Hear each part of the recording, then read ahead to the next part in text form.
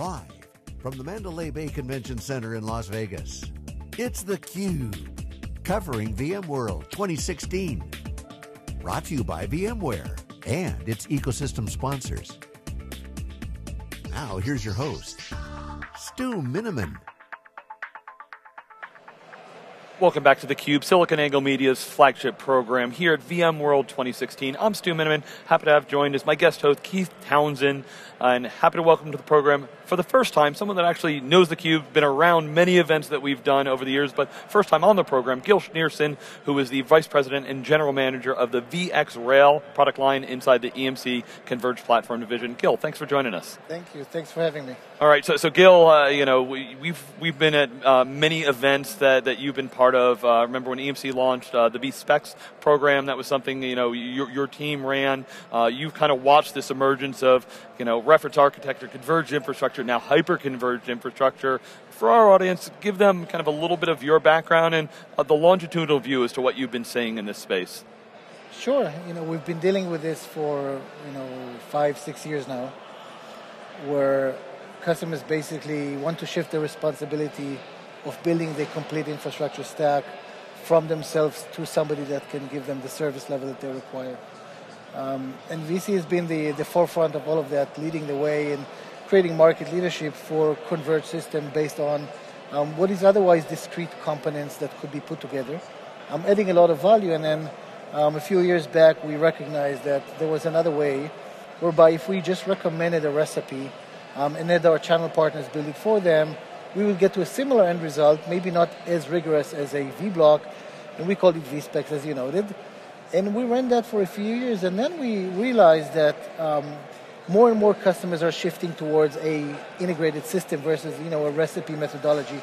Um, and at the same time, hyperconverged starting to um, emerge, and so I've shifted my own personal responsibility into what is now the uh, VxRail appliance um, motion, so our hyperconverged um, appliance for VMware customer. All right, so you had, this isn't your first generation of the hyperconverged product. There was the EMC version of uh, Evo Rail. Uh, seems to be a, a, big difference in kind of the customer adoption. You know, congrats, you know, talk a little bit about the momentum and what you've learned so far since you've lost this product and what's, what's kind of the big delta between, you know, last year when we were talking about this and, and today.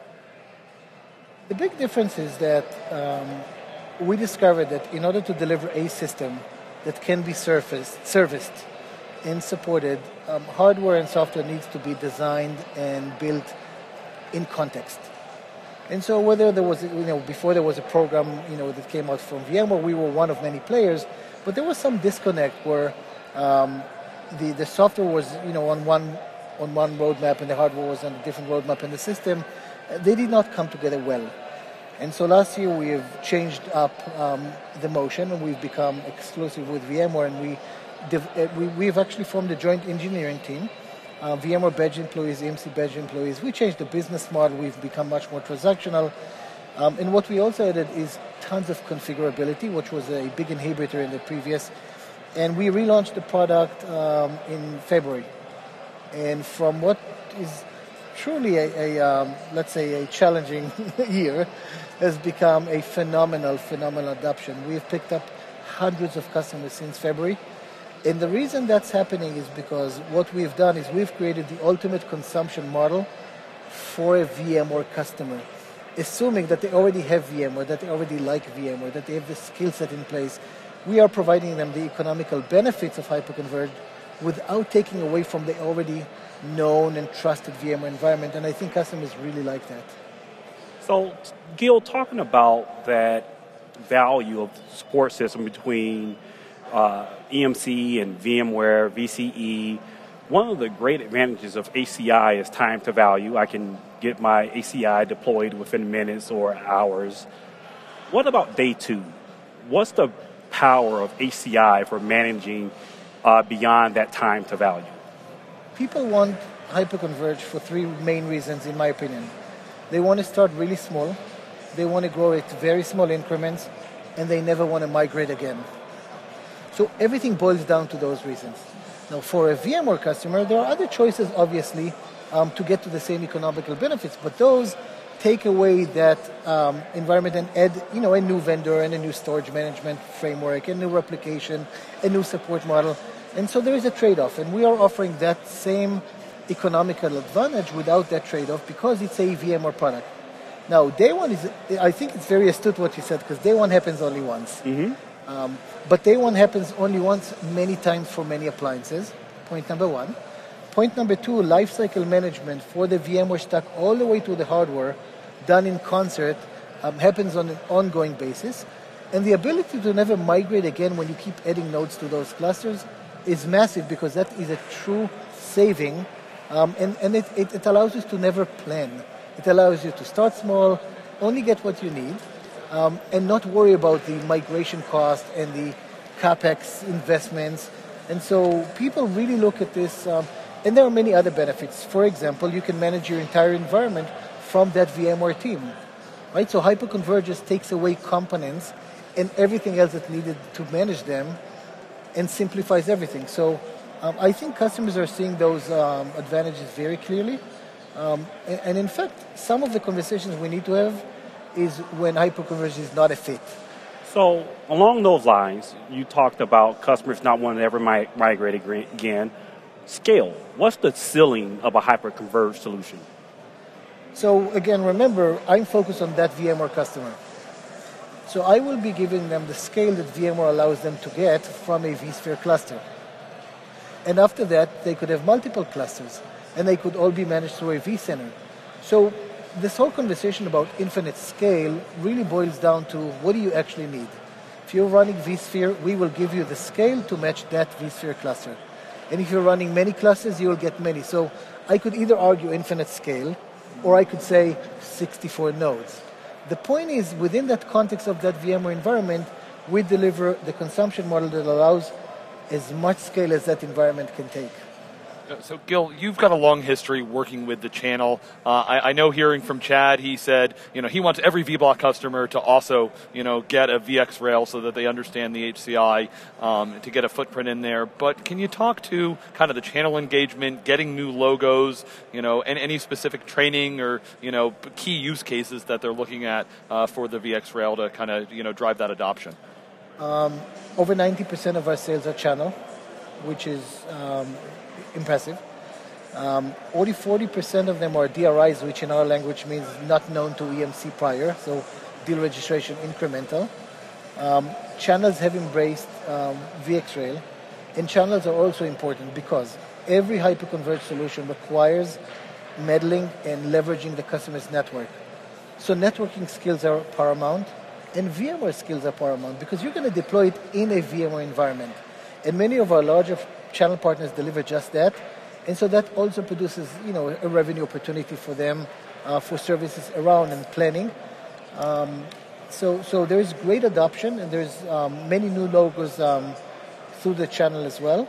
Um, training, we are we, we are not heavy on training because we assume that those VMware partners know VMware, right? So we're leveraging a lot of the existing. I can tell you that going forward, we'll be a little more rigid as to what um, prerequisites channels need um, in order to um, to deliver deployments properly. So, Gil, it's been officially announced now the, the Dell acquisition of EMC going to close September seventh. So, so close the hurdles. I, I, know everybody's excited. A lot of work's gone into that. It's also been reported that you know very soon we will see you know the Dell you know compute in the VxRail. Um, I've talked to some VxRail customers that are using the Quanta-based solutions. They kind of like it. They don't seem to have much preference. Will there be choice? Will it be Dell only? How do you handle the migrations? Can you speak to that? First of all, who has reported that that's going to happen? I, I, think it was a quote from like Michael Dell saying that was there. Okay. And I've interviewed Chad Sakac, uh, who has said, you know, um, it's no secret we're working on this. We're working on this, and we're going to do this. It, it, we're going to keep our Quanta platform as it is. First of all, it doesn't really matter that it's Quanta because we are selling VxRail and EMC appliance and we stand behind it. So the, the, the, the hardware matters less. Um, but this is a 2 by 4 configuration. We're going to add the alternative configurations um, such as storage optimized nodes, GPU um, nodes, and otherwise uh, based on Dell.